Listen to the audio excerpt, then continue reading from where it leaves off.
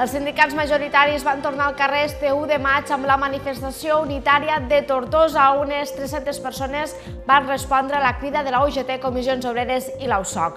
Este és el tema de portada d'avui, dilluns 2 de maig, però tenim altres notícies en titulars.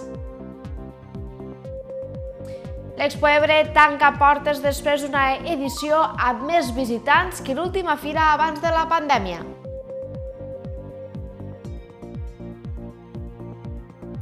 El nunci del papa i el bisbe de Tortosa beneiran i inauguraran la façana de la catedral de Tortosa. En esports, Carlos Bellés i Diego Polo guanyen la primera categoria del torneig de l'Audi Padel Series al Club Tenis Terramar.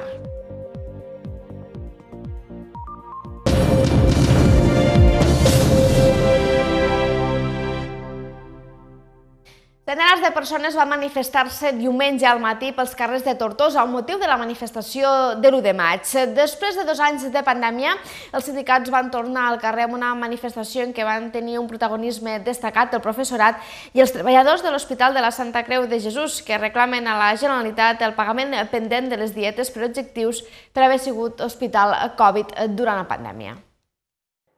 Els sindicats majoritaris de comissions obreres, la UGT i la han liderat la manifestació per l'1 de maig a Tortosa per tal de reclamar un augment de salaris i drets als treballadors. La manifestació feia dos anys que no es realitzava i el secretari general de Comissions Obreres a les Terres de l'Ebre, Marc March, ha celebrat que de nou la gent pugui sortir al carrer alçar la veu pels seus drets.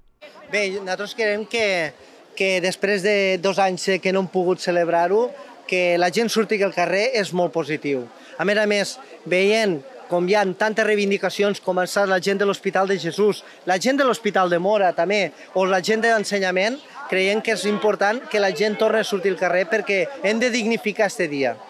Els col·lectius de professorat escolar i els treballadors de l'Hospital de la Santa Creu de Jesús han participat activament a la manifestació, un fet que el secretari general de l'USOC a les Terres de l'Ebre, David Queral, ha volgut destacar per demostrar que encara hi ha molt per fer.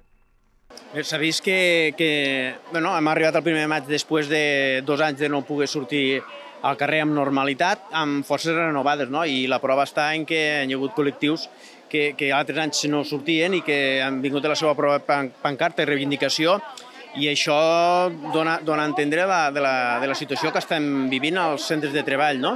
i sobretot a dos, dos sectors diguéssim, que són puntals per a una societat, que és la sanitat i l'educació. No? Eh, és un exemple clar del que, del que ha fet aquests dos anys de pandèmia en aquests dos sectors. Vull dir, els ha, els ha, els ha, els ha deixat en una situació molt precària, han estat patint molt i, i crec que s'ha pogut veure no? les seues reivindicacions i continuarem nosaltres eh, com a sindicats donant el nostre suport i, i, i, en, bueno, i, en, i en els temes eh, socials eh, ja s'ha vist, no? o, o comencem a regularitzar els salaris per a que s'adaptin a, a, a la inflació o, o si no això serà un peix que es mossega la cua i no, no en sortirem. No? El secretari general de la UGT a les Terres de l'Ebre, Valentí Marín, també ha valorat positivament la participació d'aquests dos col·lectius i espera que els anys vinents siguin més els que s'hi sumin. Valorem també el fet de que hagin vingut els d'ensenyament i els de, i els de l'Hospital de Jesús, també des de la vessant de que hi ha altres sindicats eh, implicats aquí, que no només som els tres més majoritaris. No? I eh, esperem que això pugui ser un, un punt de partida per poder tenir més unitat d'acció tots els sindicats i tenir clar qui, com he dit, qui són els nostres contrincants, que no són els altres sindicats, que som competidors a l'hora d'elegir de, eh, els representants a les empreses, però no competidors a l'hora d'aconseguir millores per a les treballadores i els treballadors. Els nostres eh, contrincants en aquest sentit són els empresaris. El mateix 1 de maig, al matí, les esquerres tortosines i els sindicats van homenatjar la figura del polític Rafael Vidiella. També Esquerra va participar en l'acte després de sis anys de no assistir-hi. Amb motiu de l'1 de maig, el PSC, Movem Tortosa i Esquerra Republicana Tortosa han homenatjat la figura del tortosí Rafael Vidiella, qui va lluitar pels drets dels treballadors i va plantar cara al feixisme. El portaveu del PSC a Tortosa, Enric Roig, ha volgut aprofundir en la importància de la figura de Vidiella. Un any més i després ja dos anys de, de pandèmia, eh, està en, ja quasi, quasi absoluta normalitat, podem celebrar este, este homenatge a sentit petit, però sentit a Rafael Vidiella, el que fou un defensor eh, dels drets dels, dels treballadors i treballadores, el que fou conseller de la Generalitat Republicana, que fou exiliat i va plantar cara al feixisme. Un feixisme que estem veient com a Europa està creixent i com a Espanya inclús ha entrat a governs eh, de comunitats autònomes. I per tant, avui més que mai reivindicar des de la unitat de l'esquerra eh, este, este, este llegat llegat de Rafael Vidiella. L'homenatge d'enguany ha tingut com a novetat la presència d'Esquerra Republicana Tortosa, que no hi assistia des de feia sis anys. El seu portaveu, Javier Faura, n'ha explicat el per què. Esquerra Republicana ha vingut tradicionalment i es va interrompir els últims cinc anys o sis, crec que van ser, va interrompir la seva presència. Perdó, però Esquerra Republicana ha anat venint sistemàticament des de que es va, des de que es va iniciar, des de que es va fer coincidir aquest dia del 10 de maig amb, amb, amb l'homenatge a Rafael Vidiella. Per tant, el que han fet ha sigut recuperar una, una posició nostra que, havíem, que s'havia mantingut com a partit des de fa molt de temps. Des de que jo soc candidat no han vingut perquè està la pandèmia, no per altra cosa. Eh? En quan han pogut recuperar la possibilitat de fer l'homenatge, Esquerra Republicana s'ha tingut que sumar. Nosaltres sempre estem en pro de totes aquelles persones que han, han, han estat eh, líders en, en la defensa de les llibertats, en la defensa de la democràcia i en la lluita contra el feixisme. El portaveu de Movem Tortosa, Jordi Jordan, ha agraït el gest d'Esquerra Republicana Tortosa i ha demanat més unitat en altres aspectes polítics del dia a dia. Per a Movem Tortosa, la figura de Rafael Vidiella és una figura important de la ciutat de Tortosa, va ser un dels polítics més importants del segle XX i sobretot ell sempre va defensar per la unitat de les forces d'esquerres i progrés i per tant avui celebrem que per primera vegada tant socialistes com Esquerra estiguen conjuntament en este homenatge, però més enllà del simbolisme també ens agradaria que realment esta unitat se pogués traslladar a l'Ajuntament i a totes les institucions perquè pensem que és el camí per aconseguir una ciutat i una societat eh, millor. A l'homenatge hi han assistit també la UGT i comissions obreres, que han explicat que enviaran una moció a l'Ajuntament de Tortosa per dignificar d'una manera més representativa la imatge de Rafael Vidiella, tot posant un carrer o una plaça al seu nom. Hem considerat que sempre dim el mateix, que és una persona que és molt desconeguda, tot i tindre un monument. Per això hem emplaçat i hem demanat i presentarem com a sindicats, com a UGT i comissions obreres, una moció a l'Ajuntament de Tortosa perquè creiem que s'ha de dignificar la persona de Rafael Vidiella, un tortosí il·lustre, un tortosí que ha sigut conseller de la Generalitat de Catalunya i que realment aquí molta gent no el coneix. Per això creiem que és important que tingui el nom d'un carrer o d'una plaça poble de Tortosa. Sí, creiem que a última hora la, el, el fet de reconèixer una, una persona de la ciutat no hi ha més honor que, a més de les medalles, etc etc, que això és una cosa passatgera i en tot cas hauria de ser títol pòstum, és el nom d'un carrer o d'un lloc d'un lloc de la ciutat. No? Per això eh, eh, farem aquesta moció i esperem que la majoria de grups polítics doncs, la, la recolzin. I el secretari general de Comissions Obreres a les Terres de l'Ebre, Marc Marc, ha fet una valoració molt positiva l'endemà de la manifestació de l'1 de maig. D'altra banda, i quan a l'hospital ha demanat fets i no paraules per aconseguir el centre sanitari. El secretari general de Comissions Obreres a les Terres de l'Ebre, Marc Marc, ha demanat fets i no paraules per aconseguir el nou hospital. Després de l'anunci fet per Salut i l'Ajuntament, Marc ha valorat que l'ampliació del verge de la cinta és necessària, però ha remarcat que el nou hospital ha de ser prioritari. En aquest sentit, ha apuntat que ara caldria determinar si els terrenys que proposa l'Ajuntament són els adequats. Jo vull fets i no paraules. És a dir, si això no es queda en paraules, és fantàstic, perquè a més se necessiten les dues coses, és a dir, no ens podem esperar actualitzar els serveis de l'hospital fins que hi hagi un nou hospital nou, perquè, mm, a veure, un hospital, encara que hi hagi molta bona voluntat de fer-se, costa, perquè val molts de diners i no es fa ni en un any, ni en dos anys, ni en tres anys. No? A partir d'aquí és una bona notícia per les dues vessants, és a dir, s'ha d'actualitzar el que és l'hospital actual per a que pugui aguantar fins que la creació d'un nou hospital. I ara doncs, el que voldríem són fets, és a dir, eh, cal que es facin estudis d'implantació perquè, bueno, és a dir, l'alcaldessa de Tortosa ja s'ha dit uns, uns terrenos, però també falta saber si aquests terrenos són adequats. Marc també ha assenyalat que la plataforma pel nou Hospital de les Terres de l'Ebre hauria de mantenir la seva mobilització. El dirigent de comissions ha recordat que al llarg dels darrers anys s'han fet moltes promeses incomplides sobre l'hospital i que per això la plataforma no hauria d'afluixar la pressió social. Malauradament, malauradament, és a dir, les mobilitzacions, la, la pressió social funciona. Malauradament perquè no caldria, perquè jo crec que és, un, és de rebut de que les Terres de l'Ebre no tinguéssim un hospital o no. Més que res per les promeses que s'han fet de tantes vegades, no? És a dir, i, i malauradament les mobilitzacions, dir, la, la pressió social funciona. Per això també estem d'acord i van convidar que van vinguessin a, a, la, a la manifestació lo, lo, la, lo de la plataforma per un nou hospital perquè creiem que estan fent una bona tasca. Nosaltres des dels sindicats, des de comissions obreres, sempre han donat suport fins i tot tenim per a recollir firmes allí per a que puguen, puguen eh, tindre més firmes per a, per a poder demanar el nou hospital i crec que, que fan una, una, gran, una molt bona tasca que realment és necessària. D'altra banda, Marc ha fet una valoració molt positiva de la manifestació de l'1 de maig a Tortosa, amb més participació que les de Tarragona i Lleida. També ha donat més detalls de la moció que la UGT i comissions volen portar al ple de l'Ajuntament de Tortosa per dedicar un carrer al polític i sindicalista Rafael Vidiella. Marc ha confirmat que ja tenen el suport de Movem Tortosa, Esquerra i el PSC. Farem una moció i que ja ells mateixos, ja almenys els tres partits que es van presentar ahir, ens han, mos han dit que sí que donaran suport para que la figura de, de Rafael Vidella, com està institucionalitzada la figura de mossèn Sol, uh -huh. també sigui una, una figura institucionalitzada i que aquest homenatge no sigui només d'uns partits, sinó que sigui de la mateixa institució de l'Ajuntament de Tortosa. Se ho mereix.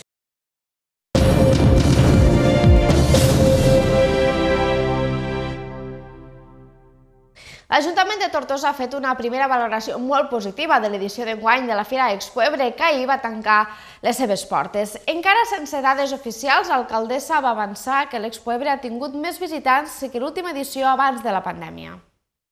L'alcaldessa de Tortosa, Meritxell Roger, ha fet una primera valoració molt positiva de la 76a edició de l'Expo Ebre. Tot i que encara no hi ha dades oficials, ha assegurat que enguany s'ha superat els assistents de la darrera edició, la del 2019, abans de la pandèmia de la Covid-19. El que més ha destacat l'alcaldessa ha estat la bona rebuda que han tingut els nous espais. Realment estem molt contents de, de quina ha estat la resposta de, de la ciutadania. Hem tingut molt més públic assistent i sobretot eh, hem tingut eh, molta assistència als diferents salons nous que hem, que hem creat aquest any. A l'espai Ebretec ha estat un, un èxit, però també el nou espai de Taste and Fashion, que també realment ha tingut molt bona acollida i hi ha hagut molta gent i a més a més la gent ha repetit, era el nostre objectiu. L'objectiu era poder generar activitat, eh, fer que la gent s'ho passés bé i que la gent tornés a Expo Ebre i així ha estat i sobretot que participés de totes les activitats que s'havien portat a terme. A més, ens ha acompanyat a, eh, també el temps, per tant, molt satisfets d'esta edició. Acabem d'entregar els premis als millors expositors. Ells també ens han mostrat la, la seva confiança i que, i que han estat també una, una valoració molt positiva respecte a com els han anat estos dies de fira i els contactes que han pogut fer i les ventes que han pogut fer. Per tant, en general, molt contents perquè que un expositor et digui que repetirà l'any que ve ja vol dir que és un èxit per a nosaltres. Les idees innovadores i les noves tecnologies han sigut un dels punts més destacats d'aquesta Expo Ebre, ja que les empreses han pogut mostrar els seus projectes als visitants de la fira com a potencials clients. Sí, a ver, realmente él incorpora tecnología LIDAR, ¿vale? que es el conocimiento del terreno, como puede ser el SLAM también, ¿vale? Al final eh, es robótica que siempre intenta ayudar al humano, ¿vale? Siempre intenta ayudar a las personas, ya sea con eh, reconocer el terreno en este caso, ya sea para mm, ver qué, qué, tipo de terreno tienes, qué tipo de estabilidad tienes, todo este tipo de coses. El que fem ara és que amb arreglar la web llavors oferim els plats que ja tenim a la cafeteria per importar plats i brioixeria, tant artesana com vegana com sense gluten. Llavors el que fem nosaltres en, en els plats, per exemple, és que cuinem i una volta estan cuinats, el producte està a 90 graus, la batim de temperatura hasta 3 graus i llavors això te permet tindre els tàpers a casa, a la nevera, eh, guardats a 4 graus i duren una setmana però tot, tot és una cuina natural i normal. ¿vale? Llavors, dins de tot el que oferim, doncs oferim tant menjar tradicional com vegà, com sense gluten. A la web està tot especificat. 21 Ràdio també ha estat present en aquesta 76a Expo Ebre de Tortosa. Durant aquest cap de setmana, la nova emissora de les Terres de l'Ebre ha realitzat sortejos, ha fet molts regals i ha fet programes i entrevistes, juntament amb Canal 21 Ebre. el creador ebrenc de continguts, Berti, i la consellera de Drets Socials, Violant Cervera, han passat per l'estant per a contestar les preguntes dels companys de 21 Ràdio. La consellera de Drets Socials, Violant Cervera, es va seure aquest cap de setmana a l'estand de 21 Ràdio en el marc d'Expo Ebre. Durant una entrevista, Cervera va reconèixer que els joves estan patint de forma directa les conseqüències de la crisi econòmica derivada de la Covid-19 i que un dels principals problemes és l'accés a l'habitatge. La consellera de Drets Socials, Violant Cervera, s'ha assegut aquest cap de setmana a l'estant de 21 Ràdio en el marc d'Expo Ebre per parlar de les línies d'actuació del departament. Cervera ha reconegut que els joves estan patint de forma directa les conseqüències de la crisi econòmica derivada de la Covid-19 i que un dels principals problemes és l'accés a l'habitatge.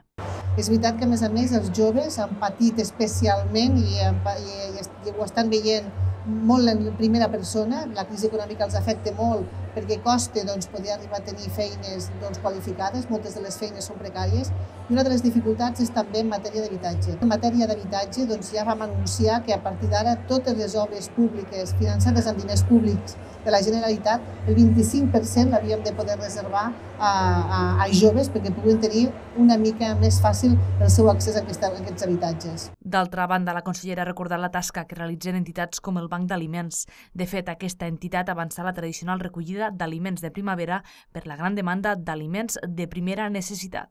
Sí, és, és, és, de fet és dur. De fet, durant l'època de la pandèmia, com a departament, a les entitats que ajuden justament amb aquest primer nivell, Banc dels Aliments, Creu Roja, Arrels, doncs ja van, van participar de la, de la seva tasca amb un conveni de 10 milions d'euros.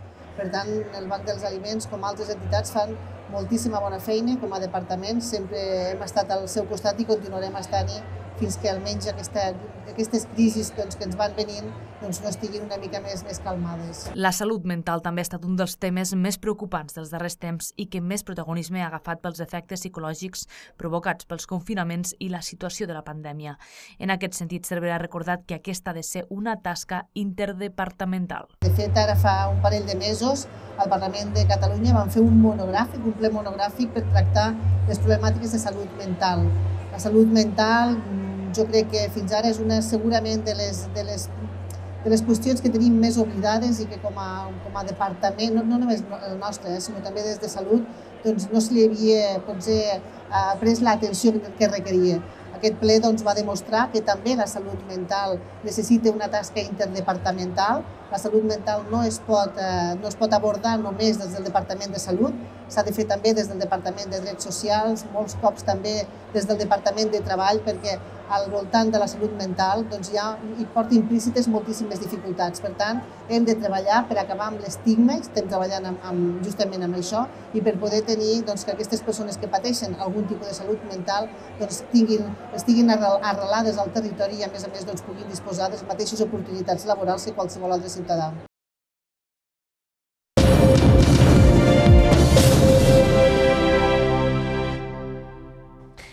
Dissabte el nunci del papa, mossèn Bernardito Auza, juntament amb el bisbe de Tortosa, mossèn Enrique Benavent, beneiran la façana de la catedral de Tortosa.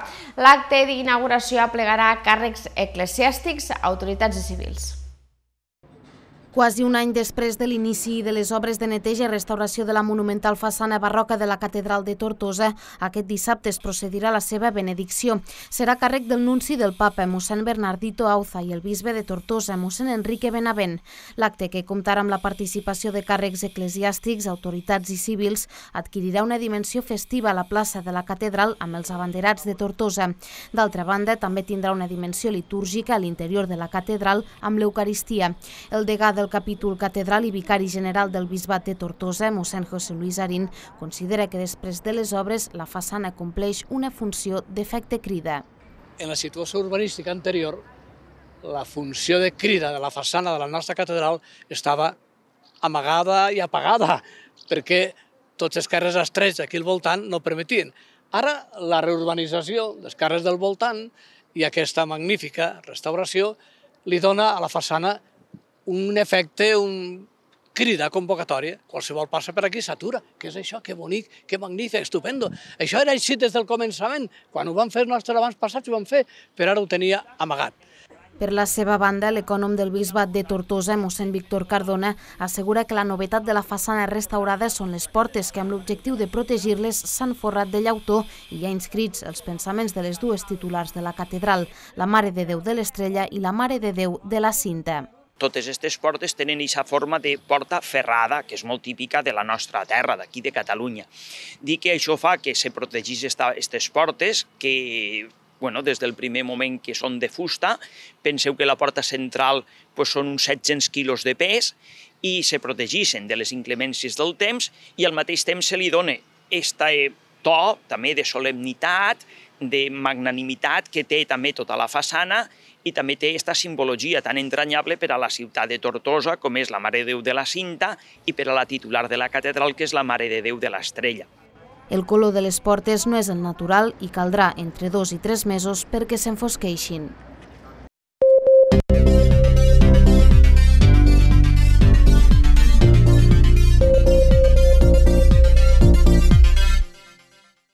El Tortosa va aconseguir remuntar el play-off d'ascens a primera catalana contra la Canonja i va acabar guanyant 2 a 1, amb el que manté intactes les opcions d'ascens. El Club Deportiu Tortosa va aconseguir remuntar el partit del play-off d'ascens a primera catalana contra la Canonja i va acabar guanyant 2 a 1, amb el que manté intactes les opcions d'ascens.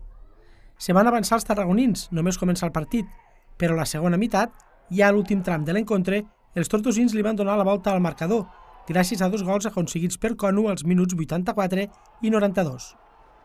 Els visitants van jugar amb 10 homes des del minut 56. Al final del maig se van viure alguns moments de tensió. Jordi Fabregat, entrenador del Club Deportiu Tortosa, valorava la confrontació. Necessitàvem guanyar, que s'ha ficat el partit eh, en contra al començament, al començament del partit. Eh, ells l'equip adversari pues, ha, ha replegat eh, per detrás de la pilota i ha intentat pues, eh, defensar l'avantatge que tenia i nosaltres hem tingut moltes situacions i ocasions de gol eh, jugant bé, jugant obrint, obrint el camp, jugant per dins també i jo crec que la primera part pues, hem pogut eh, anar-me'n com a mínim empatant eh, el partit i ens hagués donat més tranquil·litat. A la segona part, clar, a, a més eh, va el partit pues, eh, els nervis, alguns jugadors que estan més esgotats, eh, eh, però hem seguit dominant el que no teníem les ocasions clares de gol i bueno, pues, ha arribat el premi eh, eh, ja molt a postrimeries del partit i, i a, a nosaltres mos, eh, realment això mos ha donat una, una sensació de, de guanyar un partit a, a través de l'esforç i de la lluita, de la continuïtat, de la perseverància, que no és el mateix que guanyar un partit a la millor fàcil, sinó que aquest partit és un partit que pot ser un punt d'inflexió i l'intentarem agafar en, en positiu. En altres resultats de la jornada, l'Aldeana va perdre contra el Cambrils 2 a 1 i l'Ampolla va caure davant el Redis 0 a 3. Ara mateix, els dos equips que estarien en posició d'ascens serien el Redis amb 13 punts i el Cambrils Unió amb 10, però el Tortosa és tercer amb 9 punts. Per la seva part, la Canonja ocupa el quart lloc amb 5 punts, l'Ampolla és penúltima amb 4 i l'Aldeana última amb 1. I Carlos Bellés i Diego Polo van guanyar Albert Roglan i Carlos Calduc per un doble 6 a 3 i es van proclamar guanyadors de la primera categoria masculina del quart torneig de l'Audi Padel Series disputat al Club Tenis Serramar amb la presència de 86 parelles. Carlos Bellés i Diego Polo van guanyar Albert Roglan i Carlos Calduc per un doble 6 a 3 i es van proclamar campions de la primera categoria masculina del quart torneig de l'Audi Padel Series disputat al Club Tenis Serramar. La segona masculina va estar dominada per Amado Clotet i Carlos Casarrubio, els quals van vèncer David Sales i Josep Roig per 6 a 1 i 7 a 6. A la tercera masculina, els guanyadors van ser Àngel Sánchez i Òscar Gelabert Audí, després que els altres dos finalistes, Carlos Martínez i Manel Alacid, no compareguessin per motius laborals. A la quarta masculina, els guanyadors van ser Héctor Estrada i Miquel Gasulla, que van superar Pep Lucas i Ricard Pellicer per 6 a 3 i 6 a 2. D'altra banda, en fèmines, la segona categoria va estar dominada per Uria Bujalda i Laura Beguer, que van vèncer a Zara Beltrán i Lara Cruzelles per 6 a 0 i 6 a 3. Finalment, a la tercera femenina, les campiones van ser Patri Bonavida i Àngels Benages, les quals van guanyar Ivet Merín i Aida Bonfill per 6 a 4 i 6 a 1. Carlos Calleja, coordinador del circuit Audi Padel Series, valora el torneig. La valoració és bona, sempre es pot millorar, com sempre dic, no? 87 parelles, 86 parelles, en veritat. Eh, cap UBO, eh, bueno, contents per, per eh, estos dies que teníem pluja, ara plovia, ara no plovia. Eh, algun percans hem tingut, eh, se mos va treure un vidre, però gràcies a, a Viti i a Bruno, que ens va col·locar el vidre en, en, en, en hores, com aquell que diu, eh, pues vam subsanar-ho tot. Eh, però bueno, són els cajes de l'oficio que es diu no? en, en castellà. Però bé, la valoració jo crec que és, que és positiva. La propera parada de l'Audi serà al Club Tenis Vinaròs del 14 al 22 de maig. Arròs Montsià patrocina aquest espai.